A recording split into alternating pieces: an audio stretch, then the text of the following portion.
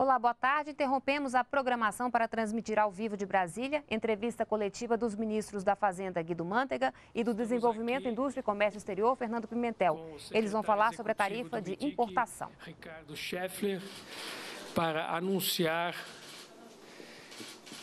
a não renovação do aumento de tarifas de importação sob a lista de 100 produtos que foi aumentada em setembro do ano passado. É, nós e o ministro Pimentel, que é presidente da CAMEX, combinamos que não haveria esta renovação porque ela não é mais necessária. Em setembro do ano passado, nós resolvemos aumentar 100 produtos, principalmente insumos básicos, porque a indústria brasileira estava sofrendo um forte assédio de importações e porque o câmbio também não era favorável para a indústria brasileira. Passado um ano, nós temos condições de retornar às alíquotas de importação anteriores, ou seja, reduzir as alíquotas atuais para o patamar das alíquotas anteriores de modo a reduzir os custos para a indústria de transformação, que utiliza esses insumos. Significa que a indústria de transformação poderá obter insumos mais baratos.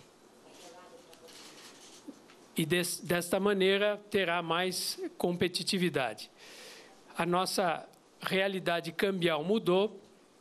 Hoje nós temos é, um real mais desvalorizado, um dólar se valorizou, né? e dessa maneira não faz sentido manter essa elevação de tarifas de importação. Nós estamos falando aqui de tarifas que eram, em média, 8% a 12%, tarifas de importação de 8% a 12%, foram para 25%, e a partir de setembro, agora, voltarão para o patamar anterior, que era naturalmente 8 ou 10%. Então haverá uma, uma redução em média de 10 a 15% das tarifas que são hoje praticadas. Então, isto pontos percentuais. É, o que era o que era 10 foi para 15, para 25, volta para 10. Vocês estarão recebendo aí uma lista dos 100 produtos cujas alíquotas haviam sido majoradas no ano passado. Né? Então, são fundamentalmente é, insumos para a indústria de bens de capital, para a indústria de eletroeletrônicos, é, para a indústria de construção, são essas para a indústria automobilística. Então, essas indústrias é, consomem esses insumos e, a partir desta data, de setembro, é, esses produtos poderão ter uma queda de preço, ou pelo menos haverá um aumento de competição no mercado desses insumos, né? de modo a evitar que haja elevações de preços. Né? É, é que entra em vigor em setembro, mas começa a vigorar em outubro. Né? Na, na verdade, a decisão foi tomada em setembro do ano passado, passou a vigorar em outubro do ano passado. Então, vale até setembro essa lista atual e, a partir de outubro, volta para a lista original. Né? Então, nós estamos falando de vários produtos, a maioria deles, a maioria destes 100 produtos são insumos. Né? Modalidades de aço, de químico, vidros, né? e mais alguns outros produtos cuja lista vocês terão disponível aí. É, não sei se já foi disponibilizada, já está com os senhores. Então, era, era essa, esse é um anúncio que nós queríamos dar o ministro Pimentel ficou preso numa outra atividade fora de Brasília e não pôde estar aqui conosco para fazer este anúncio. Então, podemos passar às perguntas. A primeira pergunta é o seguinte: é, eu sei que o senhor ficou um pouco decepcionado que, quando houve aumento dessas tarifas, havia um acordo com a indústria que produzia esses produtos aqui no Brasil de não aumentarem os preços, né? E o senhor mesmo disse que houve um certo aumento de preços. Agora, com a redução desses impostos, o senhor acha que haverá uma queda nos preços ou ele vai servir mais para evitar um repasse do câmbio, tendo um efeito não deflacionário, mas ao menos no sentido de não deixar a inflação subir por causa do efeito cambial nesses produtos? É, e outra pergunta que eu queria fazer fazer, por favor, para o senhor. Hoje, é, o Estadão traz uma informação de que o governo quer mudar a lei de responsabilidade fiscal para abrir espaço para os estados investirem em mobilidade urbana. Queria saber se o senhor confirma essa informação. Bom, em relação à expectativa que tínhamos quando nós aumentamos a alíquota de importação, era para dar tempo que a indústria brasileira se fortalecesse em relação aos concorrentes. E nesse período, nós tomamos várias medidas que fortaleceram a indústria, mesmo a indústria de insumos. Então, nós fizemos desonerações, desoneração de folha, nós aplicamos o PSI, que é um programa de sustentação do investimento, que reduziu a taxa de juros para investimento, então baixou o custo é, do investimento, do, a, taxa de juros para investimento. Né? Nós reduzimos, por exemplo, PIS e COFINS para a indústria química. Né? Então, nós tomamos várias medidas que foram incorporadas por esse segmento, e esse segmento hoje está indo muito bem. Eu estou vendo resultados, ainda hoje saiu o resultado da, das vendas da indústria química, vendas muito boas no primeiro semestre deste ano andei vendo também siderúrgicas com resultados positivos, então eu diria a indústria se fortaleceu. Né? Então agora ela pode enfrentar uma concorrência maior, que virá quando nós baixarmos a alíquota de importação. Também tem a ver com o câmbio, evidentemente. Né? O câmbio que nós temos hoje, que não sei se vai permanecer ou não, porque o câmbio é flutuante, e hoje nós vivemos o problema criado pelo Fed, que leva a uma desvalorização cambial. Esse problema poderá ser passageiro, será passageiro. Né? Mas, de qualquer forma, com o câmbio que temos hoje, esse setor ganhou uma defesa natural. Né? Então, ele, isso nos permite baixar as alíquotas de importação desses 100 produtos. Além disto, havia uma outra lista com mais 100 produtos que poderiam ser majorados, cuja alíquota de importação seria majorada. Isso é um acordo feito com o Mercosul. E eu estou aqui para dizer que não haverá essa nova lista. Né? Seriam mais 100 produtos que poderiam ter uma alíquota de importação aumentada. Então, não haverá o aumento desses novos 100 produtos e nós estamos eh, retrocedendo, voltando para as alíquotas originais nos 100 produtos que foram aumentados em setembro. Certamente, a tendência dessa medida é deflacionária, é para reduzir preços. A tendência é reduzir preços. É? Ou o setor, ou as indústrias que produzem no Brasil baixam o preço, ou então haverá uma concorrência internacional. Então, essa medida ela é deflacionária, é uma medida que tende a reduzir o preço dos produtos. A próxima. Em relação, bom, você fez três longas perguntas, né?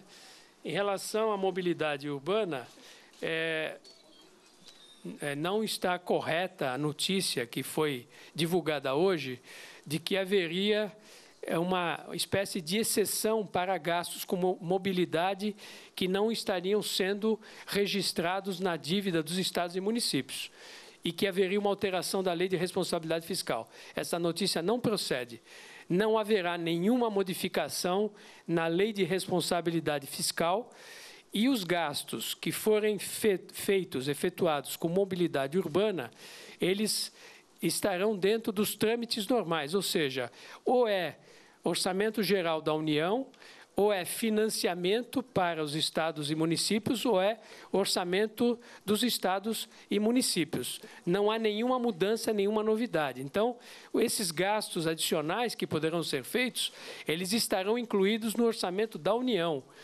Não haverá aumento de gastos da União com isto. Eu já mencionei aqui em outras, outras ocasiões que, se houver aumento de gastos, nós teremos que fazer um corte para compensar esse aumento. Tá certo? Mas não está previsto, mesmo porque uma parte desses projetos ela vai entrar no orçamento é, de 2014, né, que está sendo elaborado agora. Então, todos eles já estarão contemplados dentro do Orçamento Geral da União. Não vai ter nada fora do Orçamento Geral da União. Próxima pergunta, Leandra Em relação ao, ao fundo em relação ao Fundo Monetário, é, houve uma posição, um posicionamento do nosso diretor é, no Fundo Monetário. Ele se absteve, na verdade, de votar para um novo aporte de recursos para a Grécia. E, e, e ele não tinha nos consultado a, a esse respeito. É, então, hoje eu falei com a diretora-gerente Christine Lagarde e disse que a posição do Brasil é para que se libere, sim, é, o recurso para a Grécia, não é? é uma tranche, é uma tranche dentro do programa de, de socorro à Grécia, então nós somos favoráveis a isso e nós teremos que retificar este voto. De qualquer forma, esse voto não impediu que houvesse a aprovação da tranche. É claro que é, o programa é, da Grécia, né, ele não é um programa perfeito. Então, ele tem pontos que poderiam ser melhorados, mas isso não justifica é, o fato de nós é, é, deixarmos de liberar as, as tranches que é, são necessárias. Então, nós vamos liberar essa tranche e todas as demais tranches que estão no programa de socorro. Essa é a nossa posição. E eu chamei o Paulo para me explicar melhor essa situação. Ele estará vindo ao Brasil no início da próxima semana. Boa tarde, ministro. Eu gostaria que o senhor esclarecesse na discussão sobre mobilidade urbana o seguinte: hoje, o, os investimentos que os estados fazem para a Copa do Mundo e Olimpíada, eles é, são incluídos nos limites de financiamento dos estados, mas eles são excepcionalizados. É essa a ideia que se pretende fazer com mobilidade urbana, se o investimento em mobilidade urbana ultrapassar o limite de financiamento do Estado, ele será excepcionalizado para que esse investimento se viabilize? Essa é a primeira pergunta. E a segunda pergunta é o seguinte: o senhor fez uma observação é, bastante forte em relação ao comportamento do representante do Brasil no FMI, desautorizou o, o Dr. Paulo Nogueira Batista, mas a cadeira brasileira não é só é, representada pelo Brasil. Eu gostaria de saber se o senhor já tem uma posição dos outros países que também dividem a cadeira a respeito de como deve ser o procedimento nas próximas votações.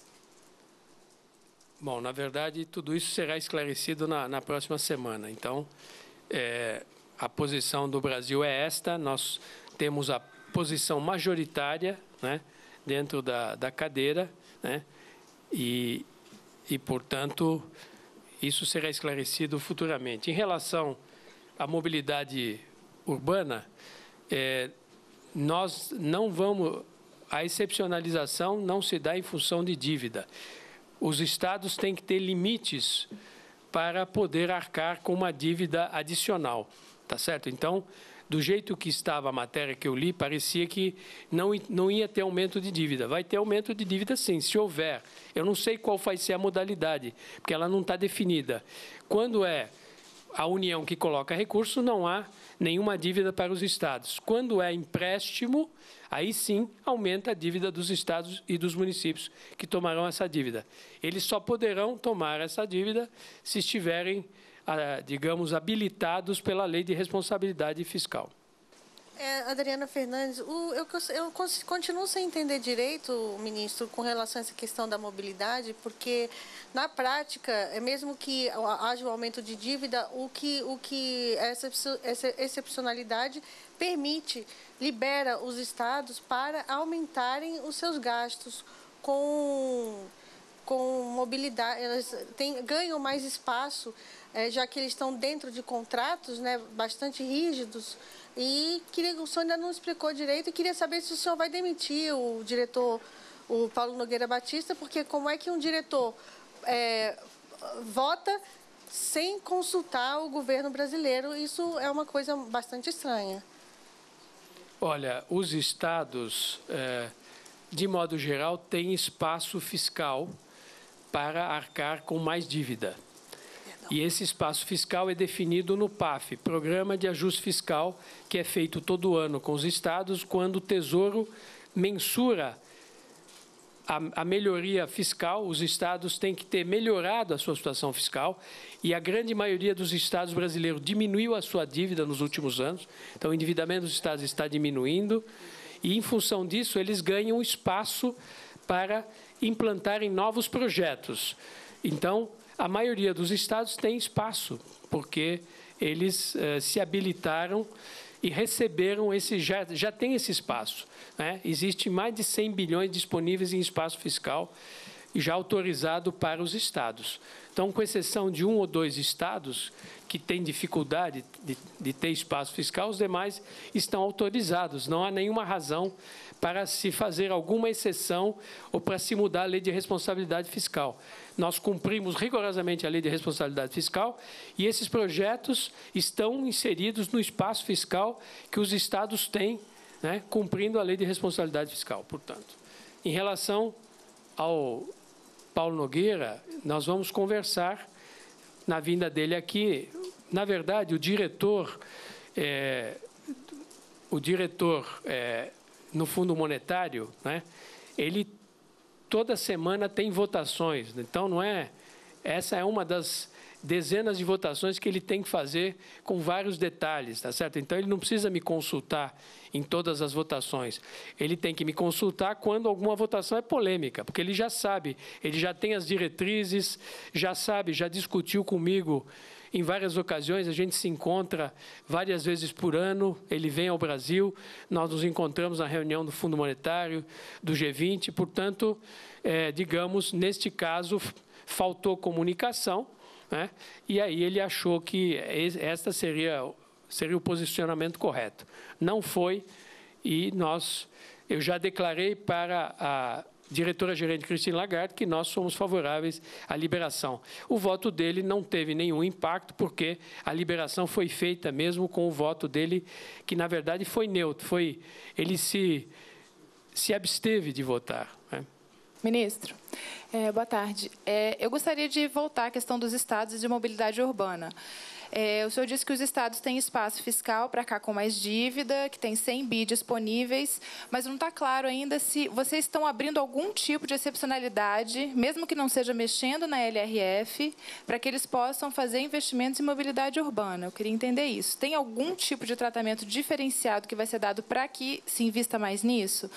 E na questão do FMI, eu gostaria de saber de por que, que o senhor acha que é tão importante, uma vez que o voto do Paulo Nogueira não foi é, não, não, não, prejudicou a liberação do recurso para a Grécia? Por que, que o senhor acha que é tão importante? Isso passa por é, o interesse do Brasil de, de conseguir alguma coisa no FMI, como, por exemplo, a mexer no, no cálculo da dívida bruta?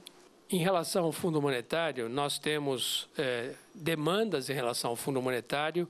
A principal demanda é que eles façam a reforma de votos com as quais eles se comprometeram. Né?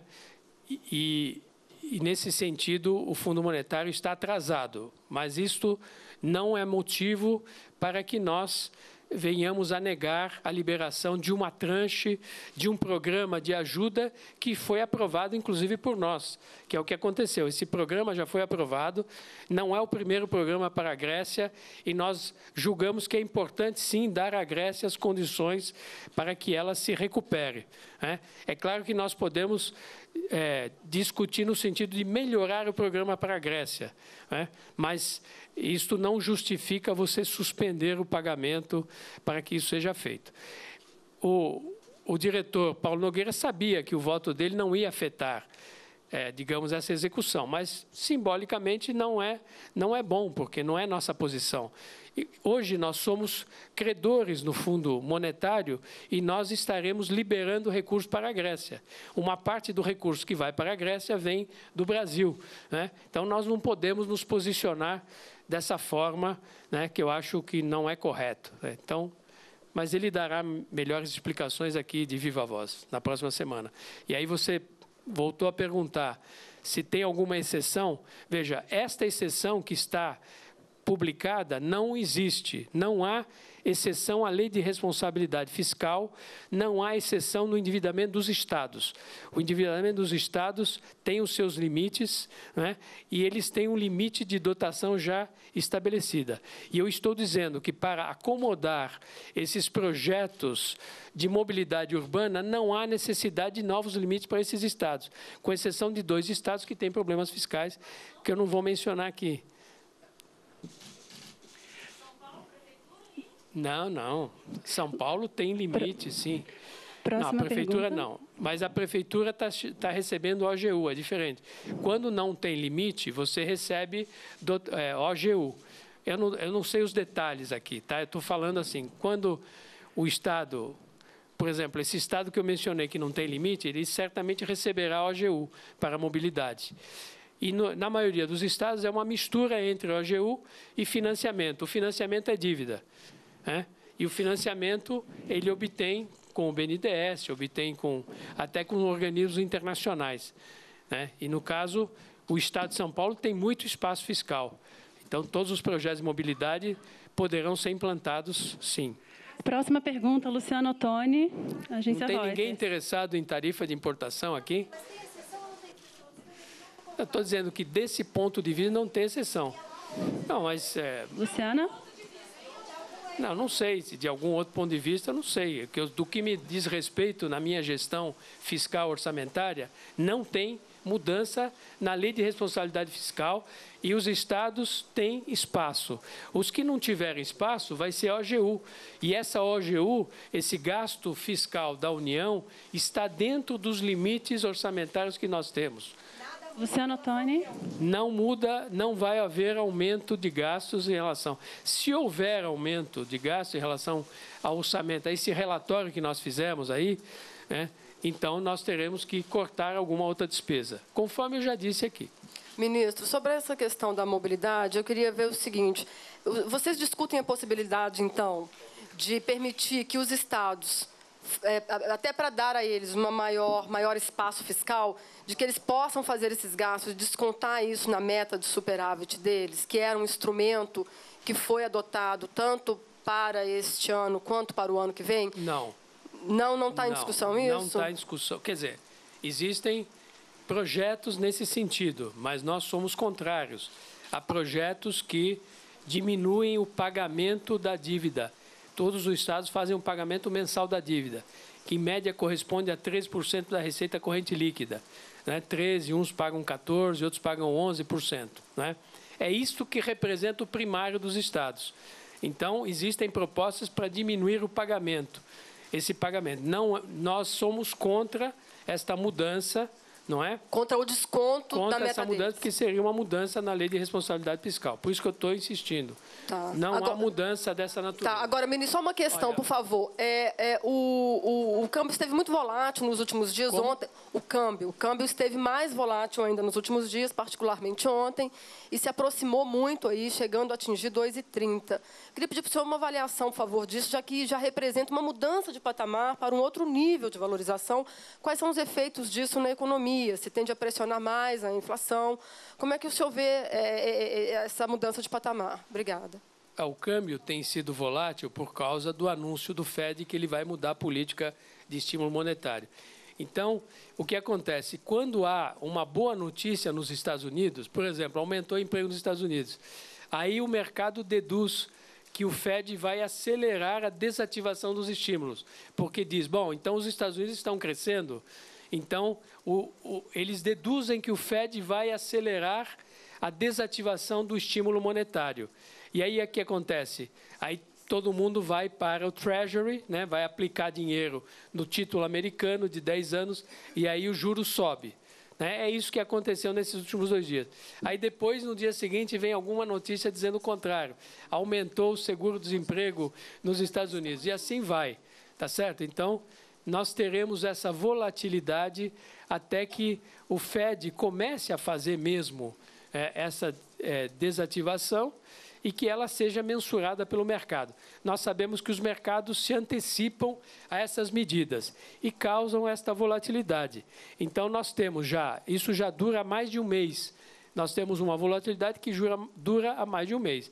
E nós agimos para é, diminuir essa volatilidade. Se houve mudança de patamar, eu não sei. Nós temos que esperar para ver, porque isso é um mercado que está se ajustando em novos patamares de câmbio. O que eu posso dizer é que já faz um mês, um mês e pouco, em que o câmbio está acima do patamar que ele se encontrava no período anterior. Se ele vai voltar ou não, eu não sei dizer.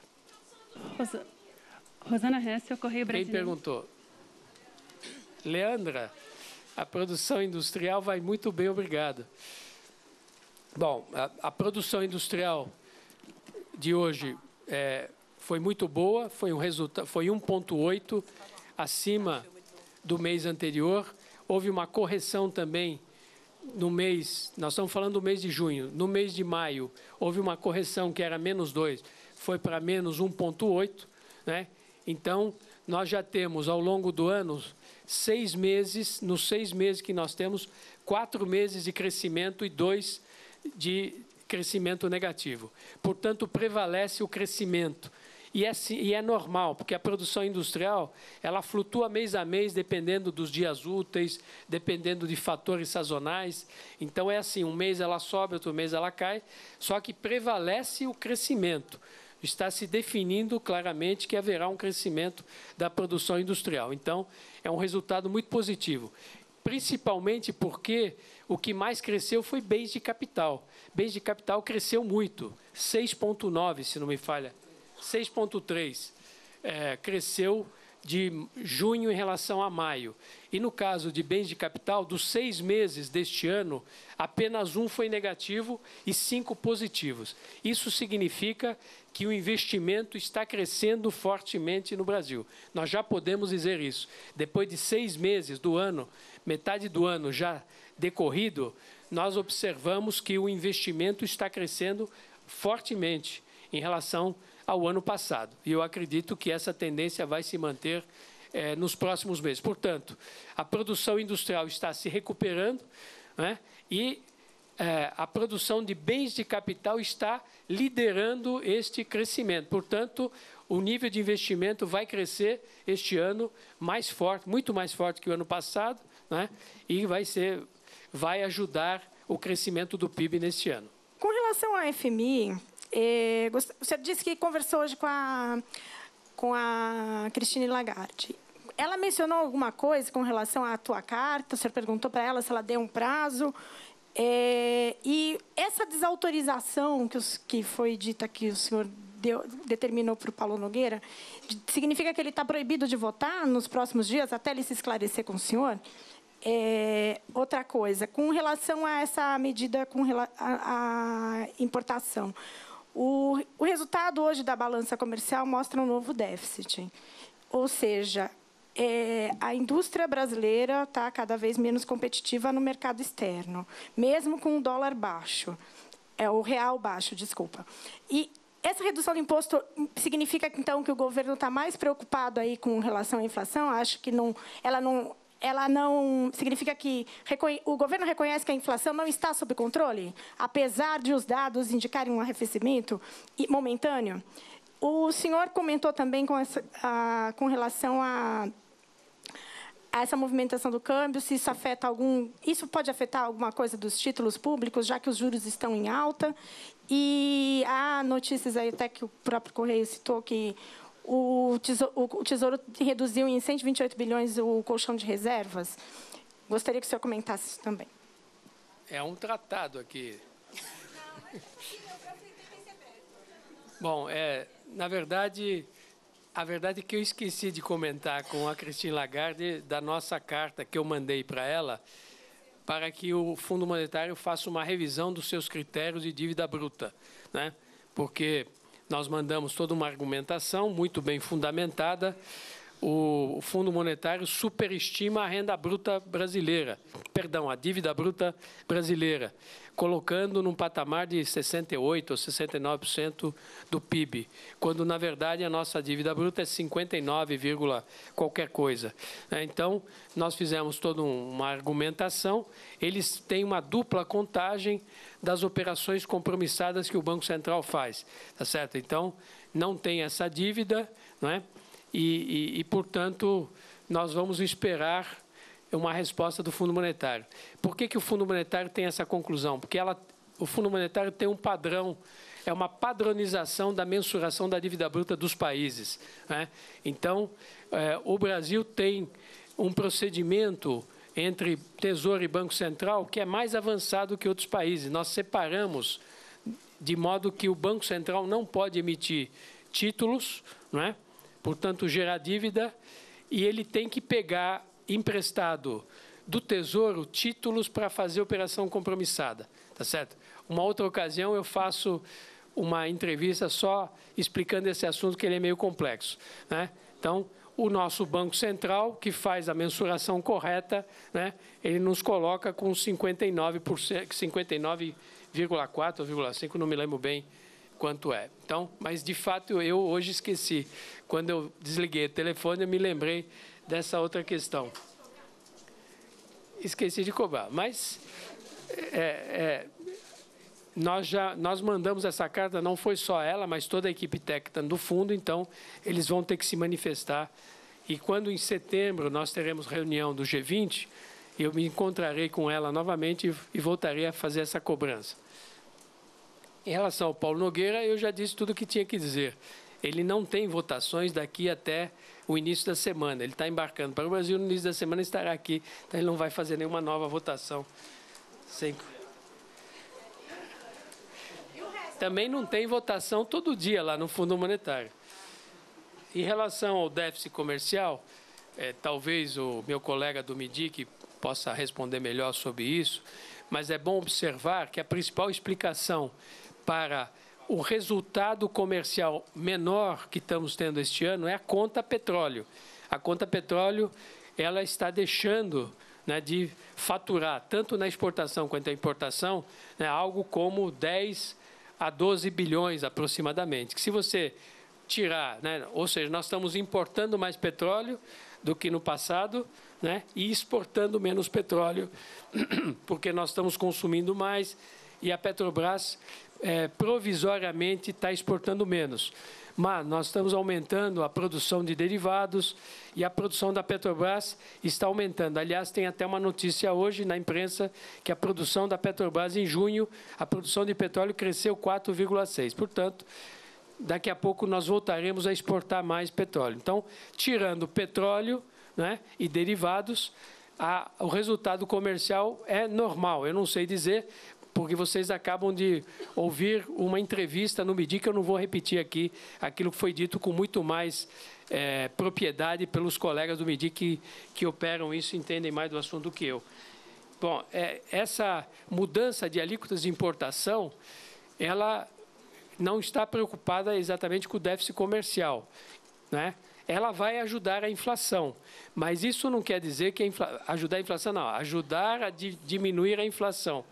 Agora, eu quero dizer a você que a inflação está totalmente sob controle, aliás, como sempre esteve.